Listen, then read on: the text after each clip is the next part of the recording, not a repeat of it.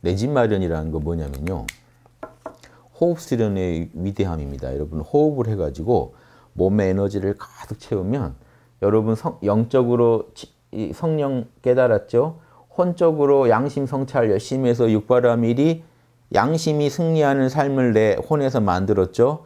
호흡 수련을 통해서 이제 이건 전제된 거예요. 이것까지 하신 분이 호흡 수련으로 영적인 에너지체까지 딱 얻으면 그릇이 생겨요. 여러분 영혼을 담는 그릇이 생기죠. 영원한 그릇이 생겨요. 그래서 여러분은 여러분의 천국을 여러분이 하나 만든 거예요. 자, 천국의 일원이 되면서 동시에 내 집 마련, 나만의 우주, 나만의 천국을 하나 만드신 게 돼요.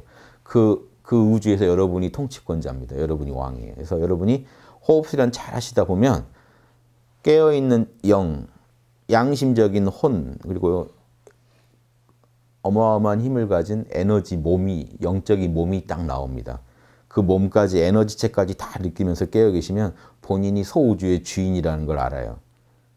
네. 그래서 한, 내가 하느님의 자녀로서 또 나도 왕노릇 하는구나 하는 걸 알아요.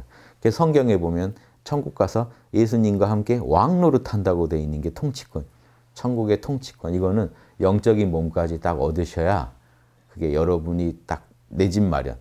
예. 어떻게 보면 천국의 개척권이에요. 천국을 내가 하나 열어요. 그리고 거기서 내가 왕노릇 할 수 있는 힘이 생겨요. 그러면서 또 천국의 일원으로서 이바지할 수 있는.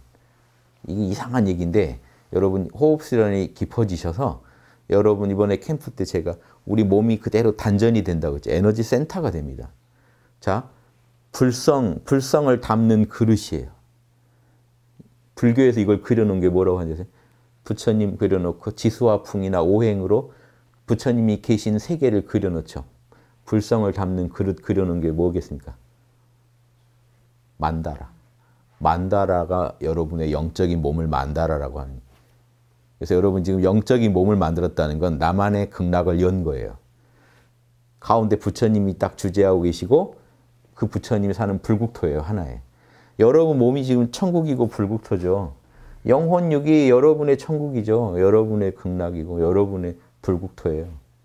그게 온전해지는 게 에너지체까지 얻었을 때 온전해져요. 그래서 기독교인들도 기독교인들도 호흡실현 안한 분들도 에너지체의 귀함을 알기 때문에 그 목사님들 설교 들어보세요. 부활의 날에 예수님이 꼭 오셔야 되는 이유가 칭의 성화는 내가 여기서 닦으면 돼요. 영적인 몸은 내가 어떻게 방법이 없으니까 예수님이 오셔서 부활체를 주신다고 약속했으니까 부활체 얻어서 나도 천국 가서 왕노릇 하겠다. 이게 목사님들 기본 사상인데 부활체 얻는 방법은 모른단 말이니까 그러니까 예수님이 와서 쏴주셔야 끝나요. 그러니까 재림을 기다리는 겁니다. 그런데 제가 지금 말씀드린 건 학당에 오셔서 들숨날숨 조존말 좀 하시면 에너지체가 생겨요. 예수님도 다 그렇게 얻으신 거예요. 그러니까 예수님, 예수님 말씀은 달라요. 예수님은 살아서 얻는 자 있을 거라고 그랬어요. 그런데 왜 예수님 와야만 된다고 하느냐? 방법을 모르니까요. 그 방법 조금 써놓은 게 도마복음인데 도마복음은 이단이다 해버렸기 때문에 방법을 여전히 모르는 거예요. 지금 교회 측에서는.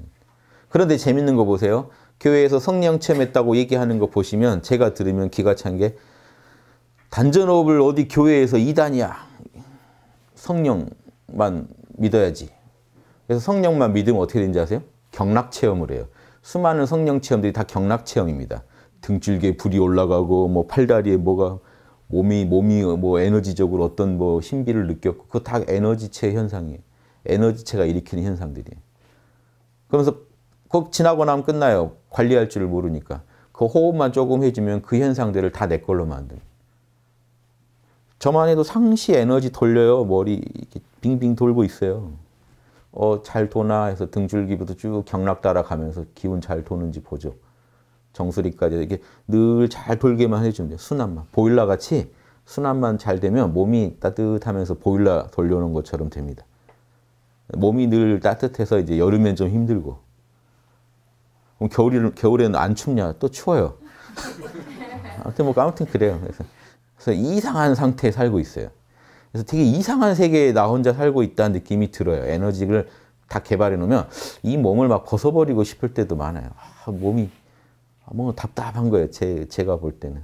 이게 돌고 있는 상황이 어떨 때는. 제가 깨어있지 않으면 에고 입장에서 좀 답답해질 수도 있는 뭔가가 있어요.